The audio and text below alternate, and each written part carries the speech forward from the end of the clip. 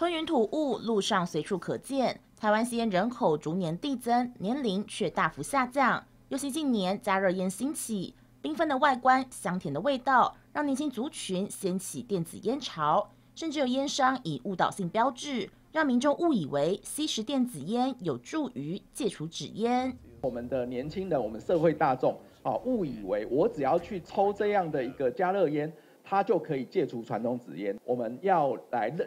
认清这个烟商的真面目啊，避免误导我们年轻人，能够保护我们年轻人跟下一代的一个健康。加热烟的烟雾里面有二十二种的一个有害的物质的含量，那是纸烟的两倍，更于有七种有害化学物质的含量是十倍这么多的一个含量，所以它的危害一定是亚不亚于那个纸烟的一个危害。WHO 日前发布首份成人戒烟指引，适用于加热烟在内的所有烟品，表示所有烟品皆有危害，都该戒除。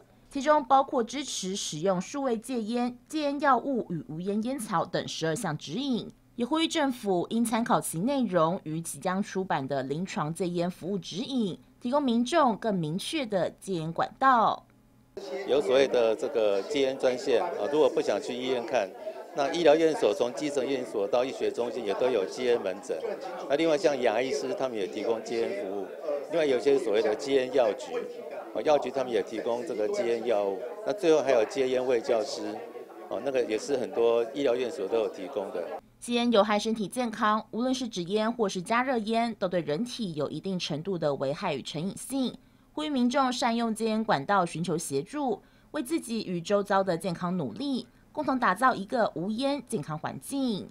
民间新闻郑仁宗台北采访报道。